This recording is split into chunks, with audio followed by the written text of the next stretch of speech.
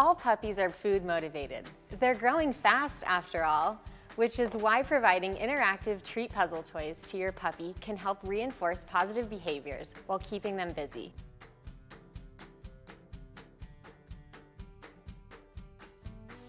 Nina Ottosson Puppy Games by Outward Hound provide mental enrichment and help your puppy develop their problem-solving skills at an early age.